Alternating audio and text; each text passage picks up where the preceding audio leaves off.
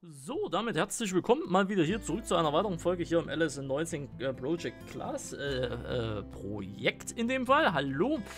So, Eintrag, beziehungsweise morgen oder heute Mitternacht, je nachdem, ist Release äh, vom Add-on, beziehungsweise DLC. Und ja, wir schauen uns heute dann nochmal hier in aller Ruhe an, wie das Ganze denn mit den Pickups so aussieht. Ich habe dann nämlich schon mal alles vorbereitet.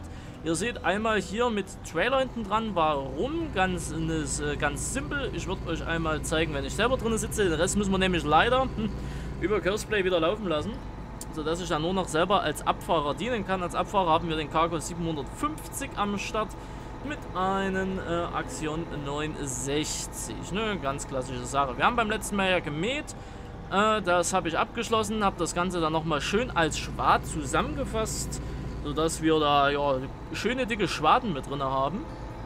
Äh, die, denke ich mal, auch ganz gut komprimiert sind, also so von 14 Metern äh, zusammengenommen. Da wird ein bisschen was gegangen sein. Ne? Ihr seht es hier, das ist schon äh, recht ordentlich. Auch immer schön so in Schneckenform, nenne ich es jetzt mal.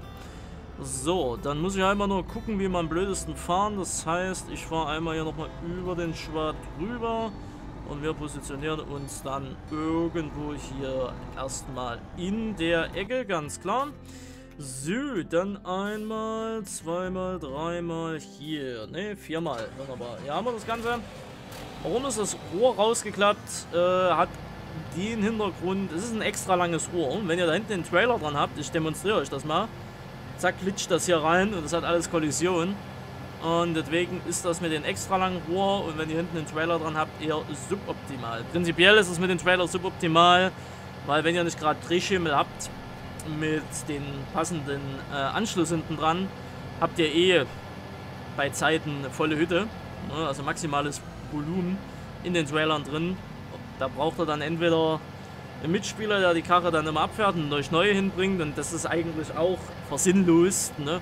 Deswegen kann man da eigentlich auch einfach als normaler Abfahrer dienen, der neben einen herfährt. Das ist halt wirklich nur so eine, ja, schon auf Krampf Singleplayer-Variante, wenn man jetzt kein Curseplayer oder sonst was halt hat, ne? Klar. So, gut, dann fahren wir einmal hier hinten mit dran. Ich hoffe, er akzeptiert das Ganze. Hier vorne ist nämlich jetzt auch Start. Ansonsten mit X klappt ihr hier den Pickup auf, dann klappt sich das Ganze so hinter, ne? kennt man ja mittlerweile. Mit V dann wiederum senken und mit B anschalten. Und dann hole ich mir jetzt einmal hier die Linie. Ich hoffe, er bleibt auf den Trailer. Ja, bleibt er auch. Wunderbar. Und ja, so viel sehen wir hier auch gar nicht. Wir sehen erstmal, dass das Ganze aufgenommen wird. Das Partikelsystem dafür ist da. Wir haben 20 km/h als maximale Geschwindigkeit. Ich drehe das Ganze jetzt mal hier so auf 10 km/h runter, dass das angenehm ist. Sieht man auch so hier hinten, wie das dann ne, zack, mit nach oben gesogen wird und kommt dann hier am Ende des Tages wieder raus. Ihr seht jetzt aber auch schon, wir haben 8000 Gras. Es wird ja in dem Sinne nicht gehäckselt, sondern wir nehmen es ja einfach nur auf. Ist natürlich eine Variante, die man machen kann. Muss man nicht, aber kann man mit den äh, Discs selber. Ne? Kommt dann Häckselgut raus. Hier pick-uppen wir das Ganze halt einfach nur. Und ihr seht, das ist eine Menge. Also der Trailer ist jetzt auch äh, gleich schon wieder voll. Ne, bei 71 Prozent. Also wenn wir jetzt hier vorne einmal da angekommen sind. Ich drehe das Ganze nochmal auf hier. Bei 20 sind wir ja bei 90. 95, 98. Ja, und hier ist dann auch schon Ende im Gelände. 21, äh, 21.000 Liter. Den wollte ich natürlich so jetzt nicht abhängen. So. Senden wir das einfach mal kurz runter. Häckseln mal kurz ins Nirgendwo. Also das Ganze hier bekommen. Ich verkaufe den ganzen Spaß dann auch einmal, dass der uns hier nicht im Weg steht. Weil der ist jetzt eh relativ für uns. Und nehmen dann hier vorne einmal natürlich den Einsteiger-Button. Und geben Gas, beziehungsweise aktivieren dann gleich mal noch das äh, Curseplay mit dazu. Sodass wir dann auch ohne Probleme... Äh, ich glaube, wir bleiben... Ja, wir bleiben am besten in der Außenlinie. Also da, wo wir jetzt gerade sind. Wollte eigentlich die Innenlinie fahren, aber das wird dann weiter hinten ein bisschen kompliziert sein. Seht auch ein bisschen, was hat er gespeichert. Natürlich nicht mehr ansatzweise das, was eigentlich rauskäme. So, jetzt gucken wir einmal hier. dass wir das Ganze ankriegen. Gehen jetzt vom aktuellen Wegpunkt aus. Und dann macht der Helfer das natürlich auch ohne Probleme. Steigen wir mal hier kurz ein. Nein, was macht er? Oh Gott, Hilfe! Okay. Das war so nicht geplant. Obwohl, er hat hier einen, er hat einen kleinen Schlängler, hat er zwar drin. Aber so sollte es eigentlich dann am Ende des Tages auch nicht sein. Mal Geschwindigkeit hier auf dem Feld auf 20 km/h reduzieren. So, am nächsten passenden Punkt. Schauen das Ganze wieder so rein hier. Und dann läuft der ganze Hase hier auch wieder. Ich gebe ein bisschen mehr Gas. Weil er macht natürlich auch weiter. Er lässt dann zwar in dem Sinne, lässt er zwar dann auch einiges liegen, aber ich muss jetzt hier erstmal kurz die kmh-Anzahl einstellen, dass das Ganze ja so passt. Dann einen gewissen Abstand sollte man auch einhalten. Ne, sonst sagt er sich irgendwann, ey, ich habe keinen Bock mehr. Das muss halt alles so schön abgestimmt werden mit 20 km/h. Das ist eine ordentliche Geschwindigkeit. Ne? Da muss man halt ein bisschen mithalten können. Wenn man das hier so voll durchzieht. Aber ihr seht, das läuft auch so. Ihr seht auch hier, der Sitz ist alles komplett gefedert, ne? wenn er immer Erschütterungen hat. Das ist aber bei den ganzen Mods genauso. Und auch hier mit Max Speed zieht er einfach durch. Ja, ohne Probleme zieht er einfach durch. Hier werden wir ein bisschen langsamer, weil ich habe das halt so wunderschön eingefahren. Ne? Man, man kennt mich ja dass man die Kurven halt so kriegt. Alles manuell eingefahren hier. Weil ich halt ein Kirsplay-Profi bin, aber es dient ja am Ende des Tages einfach nur zur Demonstration. Ja, ah, zieht er jetzt wieder hier rum. Wir können wieder hier Gas geben. Und ihr seht noch, selbst hier auf den Abstand rast er oder schiebt er noch hinten mit rein. Und ihr seht auch schon mit, wir sind zu 60% voll. Ja, auf jeden Fall eine ganze Menge. Das geht ordentlich voran. Ja, und der ist auch voll aufgerüstet, ja, also auf 800 und ein paar zerquetschte PS, was halt so geht. Merkt man dann halt bei äh, steilen Gelände und Co., ne, dass er dann halt schneller vorankommt oder weniger schneller vorankommt, wenn es halt extrem steil wird. Ne, äh, das sagen dann halt die PS-Zahlen drüber aus. Aber das ist euch ja auch alles bekannt. Da erzähle ich euch ja nichts Neues. Ne? Würde mich auf jeden Fall wundern, wenn ich es täte. So, dann ziehen wir hinter den wieder durch, fahren wir hier noch die letzte Bahn. Wie gesagt, so viel haben wir jetzt hier eh nicht mehr. Äh, beziehungsweise so viel passt auch nicht mehr rein, also bis ganz nach vorne kommen wir eh nicht. Aber ihr seht hier nochmal das extra lange Rohr. Das hat schon einen guten Radius. Ja, und jetzt sind wir auch voll. Stoppt er hier und jetzt können wir den ganzen Spaß äh, theoretisch mit abfahren und äh, Spaß haben. Ne? Ganz klar. Aber Silage und Co., das haben wir uns ja alles schon angeschaut.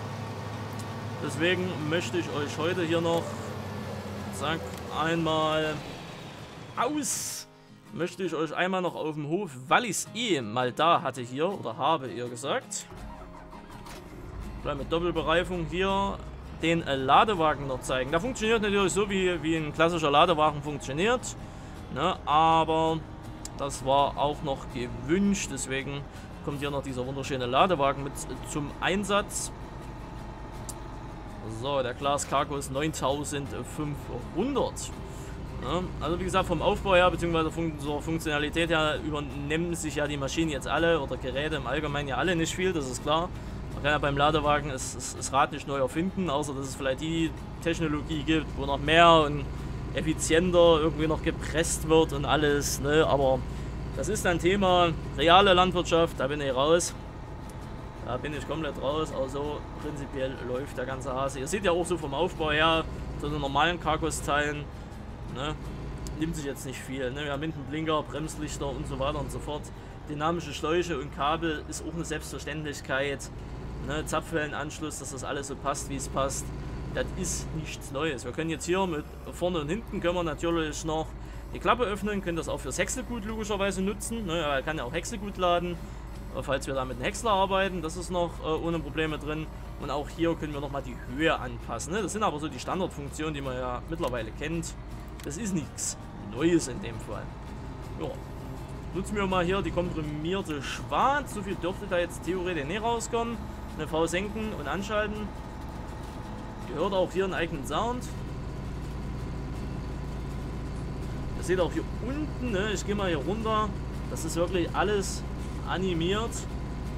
Ne, die Ketten hier, das geht bis nach hinten, wird also vorne vorgepresst und kommt dann hinten irgendwo an, beziehungsweise in den Trailer halt an. Ne, hier geht es dann hoch und theoretisch ist es dann ja so, ne, dass, wenn das jetzt einfach so aussieht, dass das dann so nach hinten weitergereicht wird. Das wird natürlich jetzt hier nicht so umgesetzt. Ne, hier erhöht sich einfach nur die Plane, so mehr drin ist und die geht aber trotzdem mit nach hinten. Ne, vorne wird zwar auch immer mehr, aber nach hinten wird es halt dann auch langsam aber sicher mehr. Ne, jetzt haben wir hier, seht ihr schon, ist der ganze Boden bedeckt. Und somit ist es aber trotzdem so ein klassischer Ladewagen, sprich vorne viel und hinten füllt sich dann nach und nach auf. Halt so umgesetzt, wie es halt im LS jetzt aktuell Standard ist. Ne?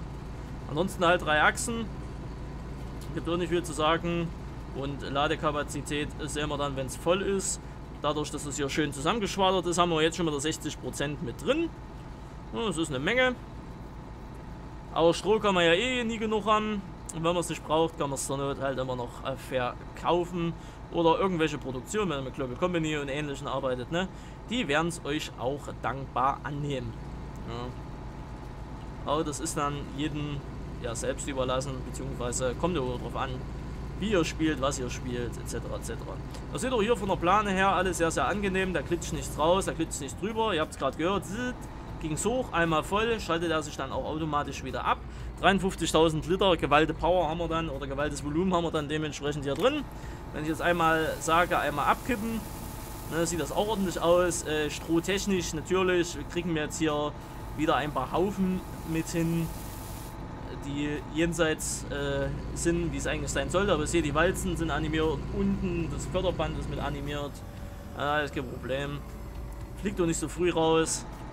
Das passt soweit alles. Und es wird dann hinten, also vorne wird es dann weniger zuerst und hinten bleibt es dann auch gleich. Na, das ist dann halt so typisch Ladewagen.